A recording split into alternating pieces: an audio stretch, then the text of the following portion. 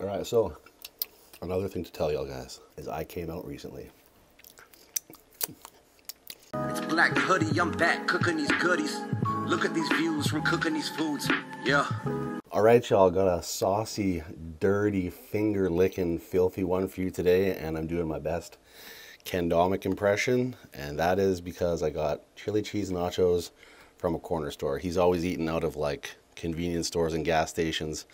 These are homemade wings, extra saucy, nice and mild and crispy, just how I like it. I grabbed an extra container at the store when I was getting these chili cheese chos. Okay. So we got the corn tortilla rounds, a nice saucy vid. I got a bunch of shit to talk about. And uh, also we have a polar pop. We're not pouring up, but we are sipping on a fresh, and I mean a fresh, fountain root beer with the perfect ice crystals. If you know, you know. Watch this.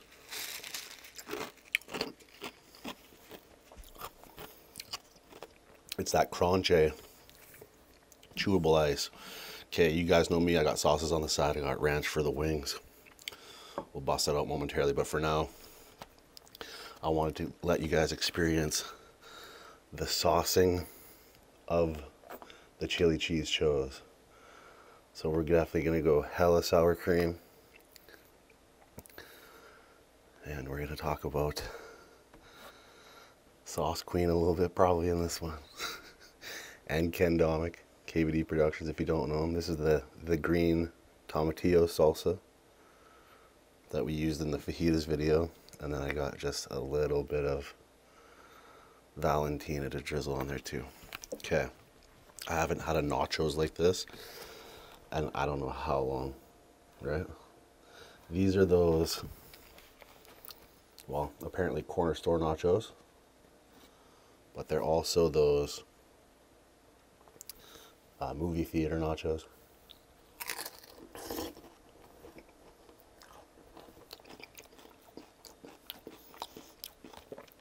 They are your uh, hockey game nachos.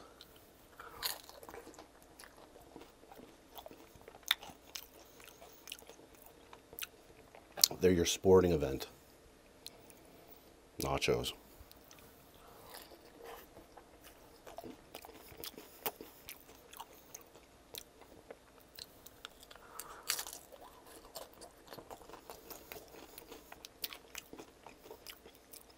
And apparently,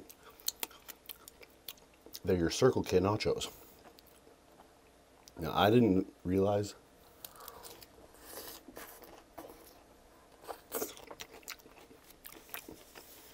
or notice that my little local store here even sold these until recent. I never noticed the pump action cheese and the pump action um, chili sauce until one day I was hungover a while ago. And I went in there for a pop. And then I saw the hot dogs. I was like, oh, I'll get a hot dog. And then I saw like the cheese and uh,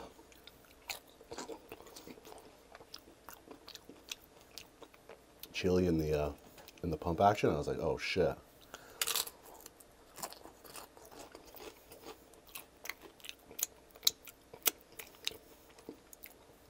I gotta get a chili cheese chos one of these days. And today's that day.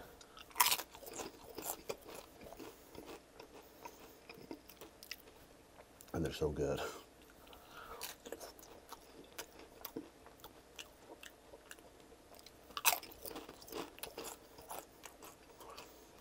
Lightly soggy from the ride home, but oh well.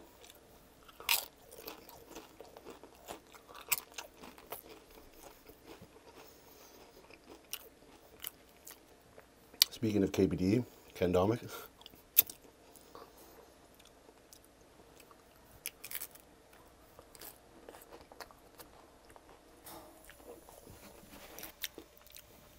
I often wonder if I'm his long lost son.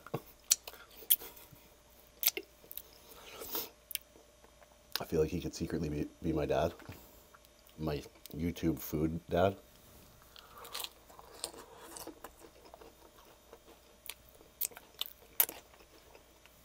But then when I realize how much hate that he gets, I don't want to be related.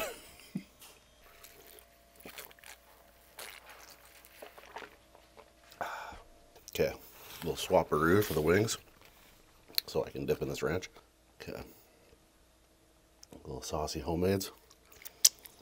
I'll be honest. I liked Ken Domik. I like KBD. I always used to watch him.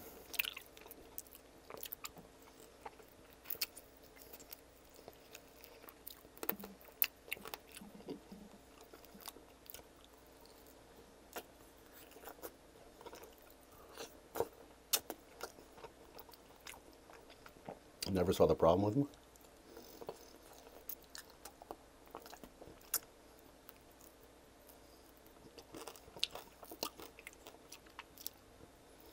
But a lot of people don't like him.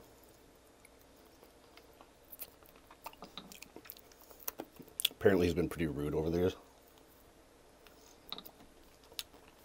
But maybe he just got sick of getting hated on and kind of bit back. I don't know. Either way, always thought he was decent. Liked his content.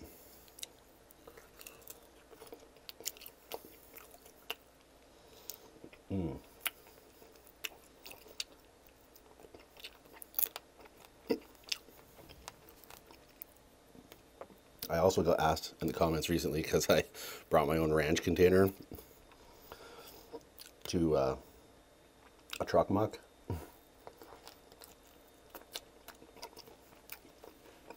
Papa John's one more specifically.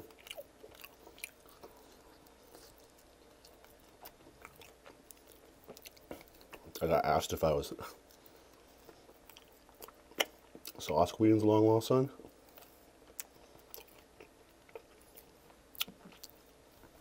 I could see how you might make that saucy connection.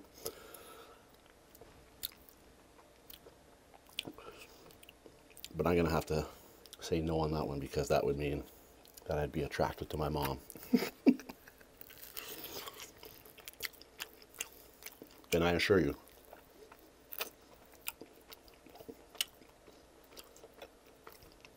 that I am no Oedipus Rex.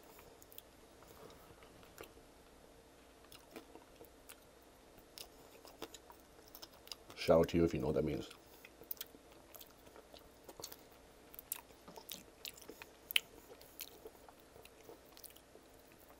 Wings are too perfect.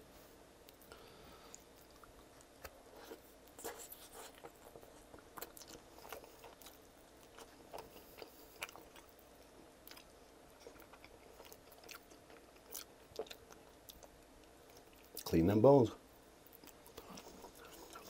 All right, so another thing to tell y'all guys.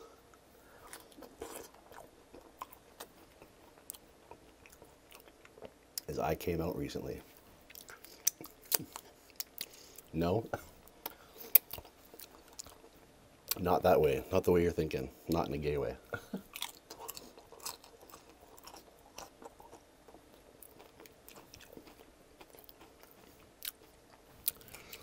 I've always hidden my channel.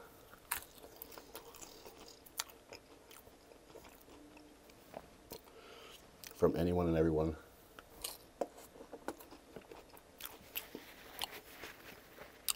Around me that I once knew, that I possibly could. A bunch of people had become aware of it.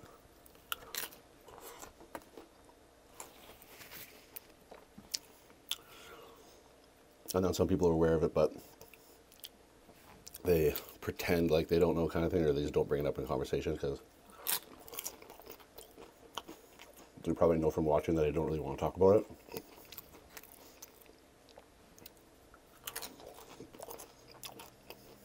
But I still have a Facebook, yes.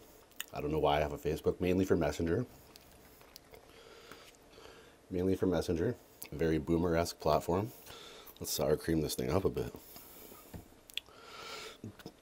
Might as well hit it with a. Might as well hit it with a tomatillo while we're at.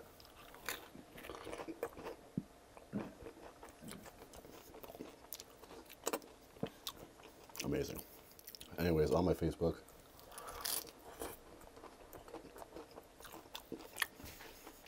I have a lot of family, friends from the past, and uh, aunts, uncles, type things like that. And uh, the other day,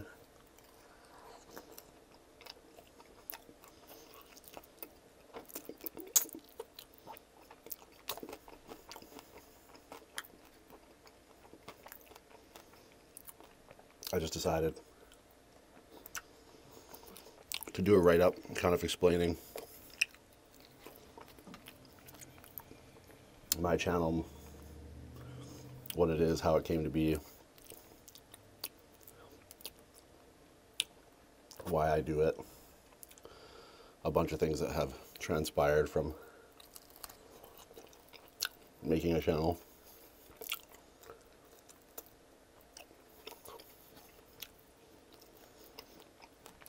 And I just outed myself because I was always living in this paranoia.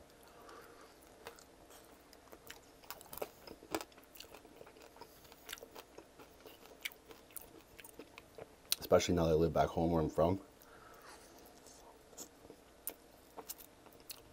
Of going out in the world.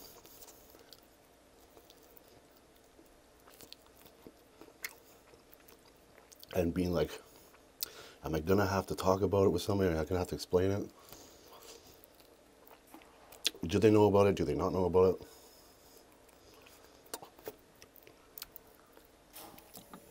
So I just figured I would re- reveal myself, make it known.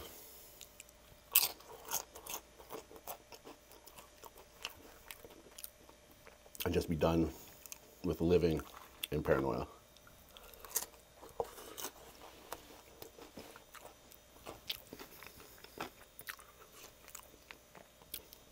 that I eat like a weird 12 year old savage sometimes, not all the time, on the internet. Sometimes I cook.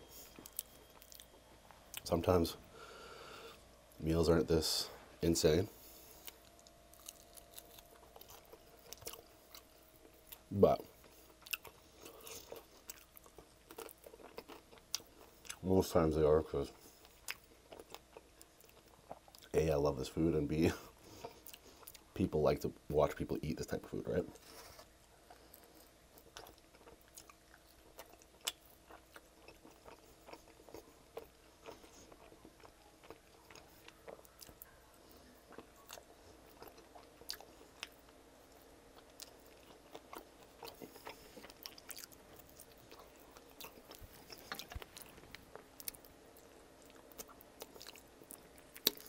So I'm free now. I've released myself from the shackles of the fear of opinions of others and like having to explain the shit and whatever and just like not caring anymore. So you like it or you don't. This is the thing. Uh, I gotta read sauce these up. I feel like they're all dried up. This is a definite sauce queen move, and just back to speaking on what I'm speaking on. That's why I actually admire Kristen Sauce Queen a lot because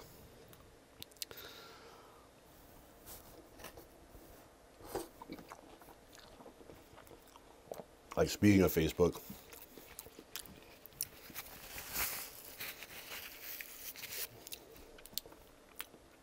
speaking of Facebook she has her real name on there and she always encouraged anybody and everybody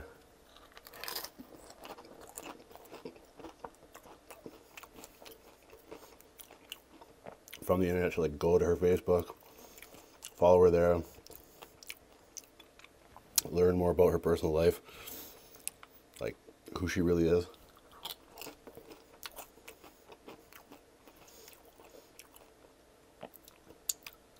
And she was never afraid to just be the person doing that thing on the internet. Like she did not give a shit about really what other people thought in her direct vicinity.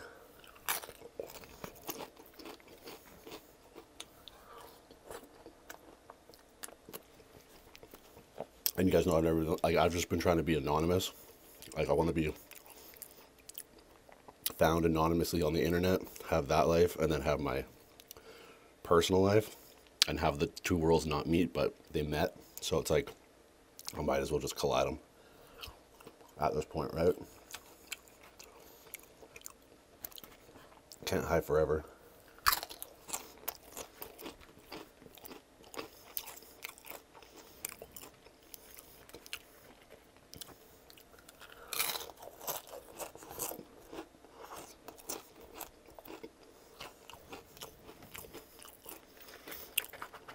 And I should say, in uh, revealing myself that way, there was a lot of support. People were very supportive. They didn't like hate on me or you know what I mean. There's just like, that's cool. Keep doing what you're doing. That's interesting.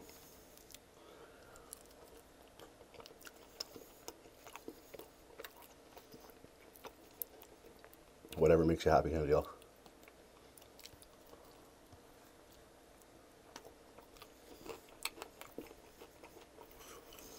It was nice to be able to preface the link to my channel with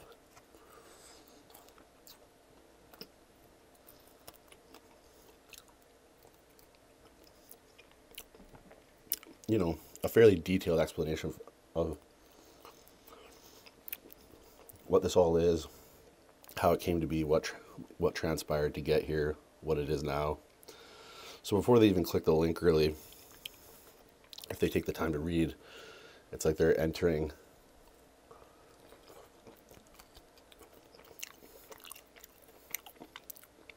into the space.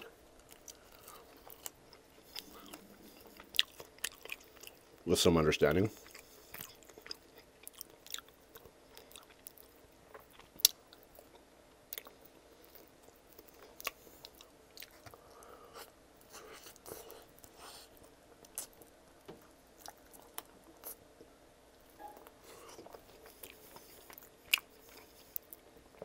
Now more people I know.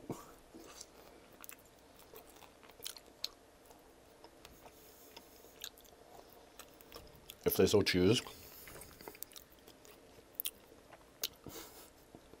Get to watch me be a wing savage. You guys know, you guys know I always kind of try to keep it clean. A little bit respectful. These wings are great though.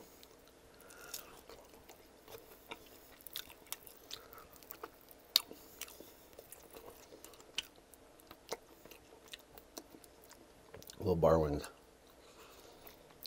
They're coming down to the temperature where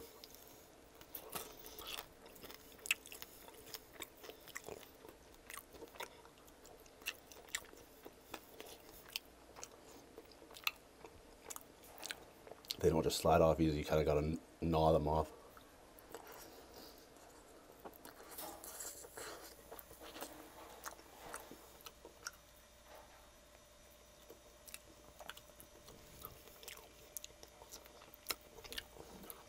Which we all know here has never been a problem for me.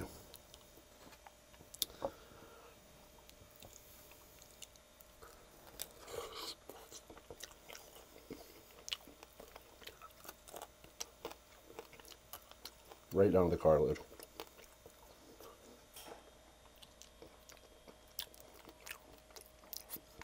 Rip those tips.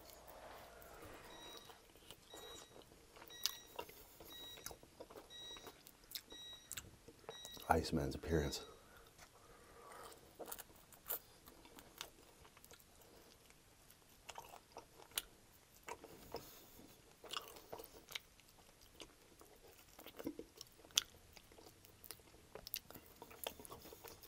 So, to anybody who is new that I know that's watching, yep, I'm this weird.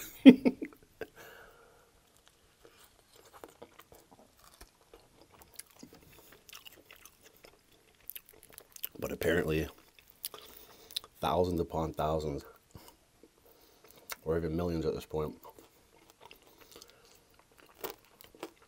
of other people are too.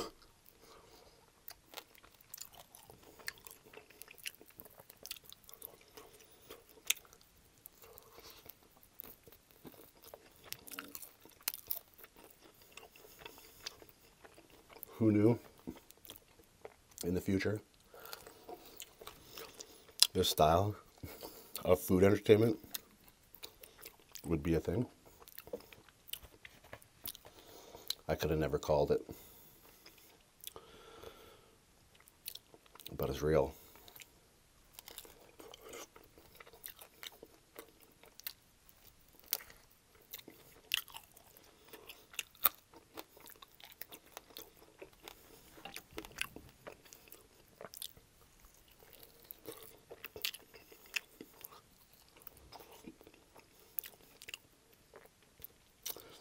and it's delicious and fun to do.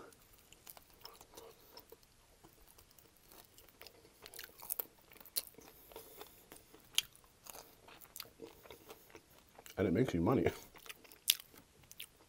Isn't that a trip?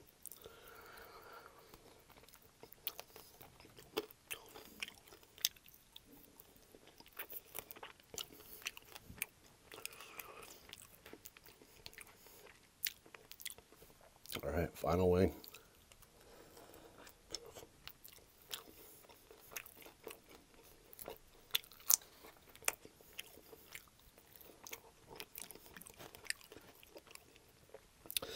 I know somebody's going to ask.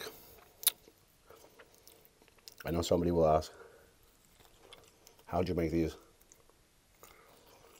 Like I always say,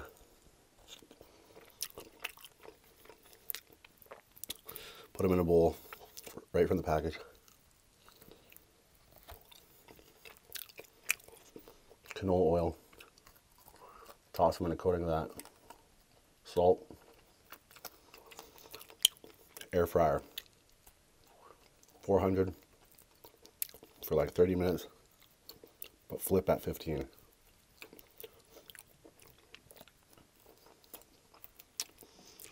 You can do them in the oven just like that too. 35, 40 minutes on 400 or so. You go 420 if you want, extra crispy. You know, it might just crisp them up a little harder, a little faster, but uh, pretty much the final bite.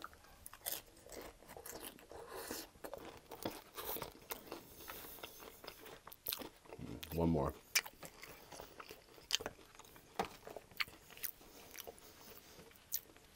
And they come out like crispy little bar wings. I let them rest for like mm, 10 minutes. It's awesome. And they're perfect. All right. Saucy.